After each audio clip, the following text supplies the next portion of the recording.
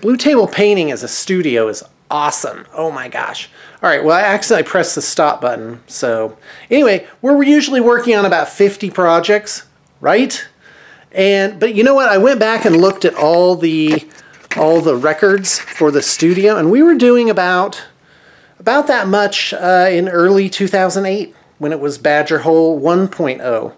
So, uh, so it's, it's good times. It's really good times. All right, so uh, anyway, I'm gonna go ahead and uh, just get the get the camera on the tripod here, and I'm just gonna I'm just gonna talk for a while. Why not? And an update. It really is. It's a studio update. Wait a minute. Is this? There it is. This is like the worst because you know there's so many places they got like they got like green screens and um, I can do this. I've done this like so many times. There we go. They got like green screens and it's like all like high quality production.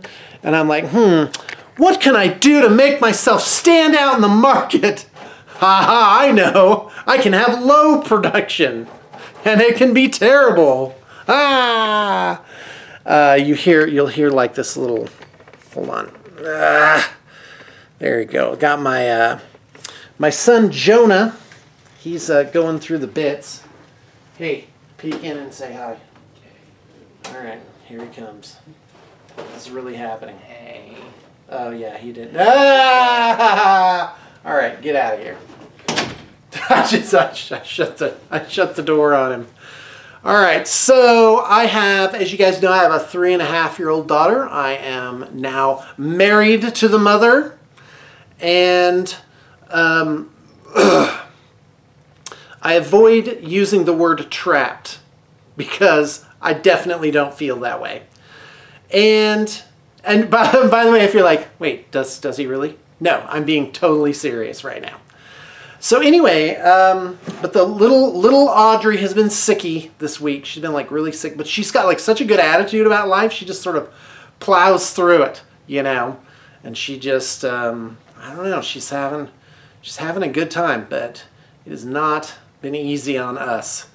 So uh, anyway, uh, on Saturday, my um, uh, Luli and I were going out to coffee in a rare moment where we got to be on our own, and uh, smoke starts coming out from under the hood of our car.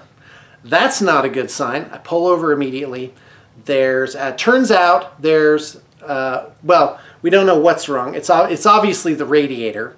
So we go, the radiator fluid is low, there's fluid everywhere inside the car, and so I'm like, all right, so we gimp it back home, and uh, so that's Saturday, but it's at, so I call the service department, because uh, the car is under warranty, we have an extended warranty. We're really into warranties, by the way, love those. Anyway, so we uh, gimp it home, but the service department's closed already on Saturday. And so Sunday is like the worst snowstorm in Utah history. No, it just, uh, Sunday night, it's Monday, right? Yeah, Sunday night, the blizzard started. I mean, it's not as bad as other places. It put down maybe eight inches, eight, maybe 10. And, um, but it was, it was not great traffic. Not a great time to need a tow truck to get somewhere. So the flatbed tow truck shows up. They're three hours late, which is fine. I've you know I've cleared the day for it, and uh, I take it up there, and they fix everything. And uh, so, I'm but I'm talking to the tow truck driver, right? And he's like, yeah, there's like 500 tow trucks in the Salt Lake area, and I'm just like, wow, that's so many. I didn't think I would have guessed maybe 40 tops. Oh no, no, no, no. Those guys are always towing cars everywhere. And uh, apparently they're just they're just busy all the time. So there you go. But let me tell you, that is some pretty that is some pretty uh, brutal work right there. All right, well, guys, um, that's it. I think, yeah, you know, there's just not much to say when things are running smoothly. Uh, I could stand to add a couple projects. That would be really nice. I'm ready for that. I'm always fielding inquiries. What did I want to say? Oh, yeah. Here's the big deal. Hold on. Um, oh, by the way, we're watching a ton of stand-up around here. We have it like going all the time. And all right, okay, so I had a program not too long ago where um, I would get locals to come in, use my terrain, possibly my armies, and make battle reports. Because I'm obviously not doing them anymore.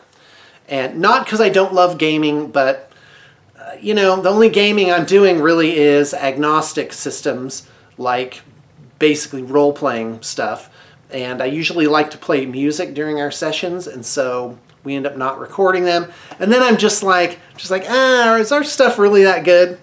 You know? So anyway, I'm looking for a couple of people by remote. Could You could be anywhere in the world to do battle reports. Uh, this pays.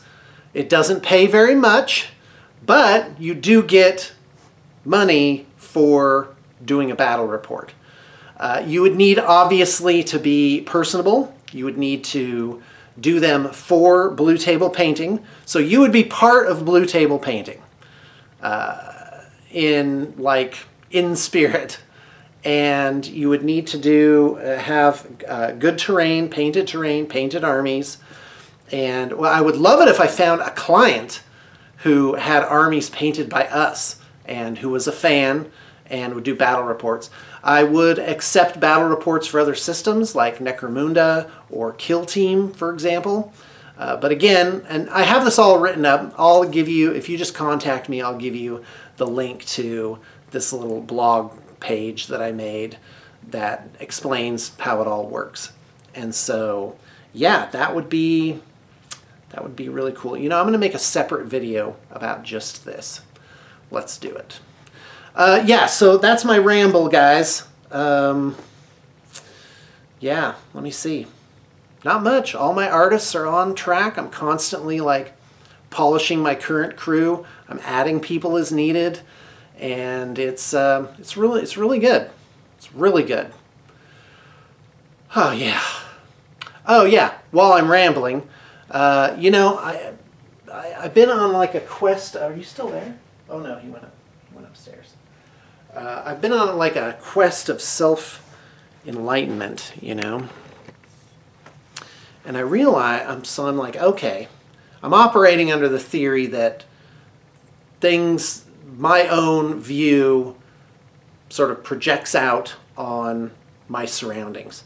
And it does that either as just my perception of things, uh, or what I really believe is that my own uh, vibration, or whatever you want to call it, actually creates the things around me.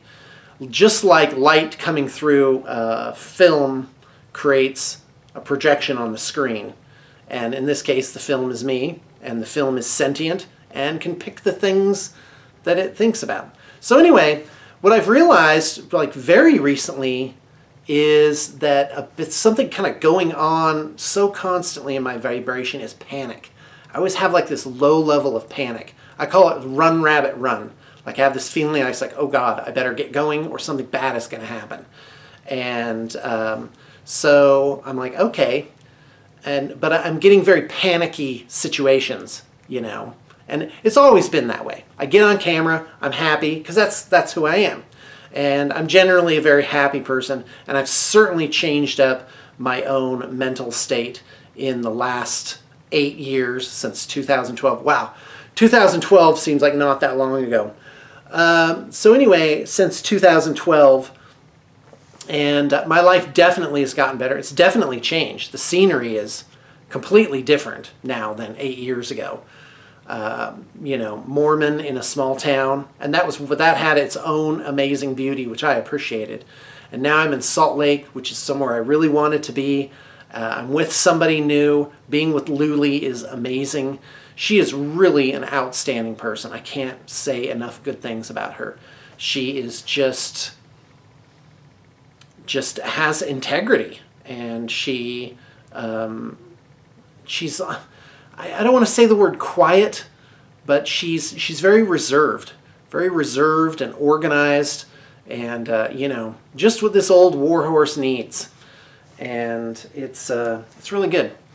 So anyway, so I've been working on really getting in there and getting sort of and replacing that sort of low level panic feeling with relaxation and just being just being okay with how things are and not not worrying so much.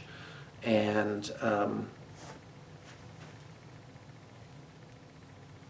I'm trying to be quieter when I when I drink. Sorry guys yeah, all right, so that's the ramble. I am going to do a separate video for the battle report thing, and um, yeah, that uh, that sounds that sounds really good.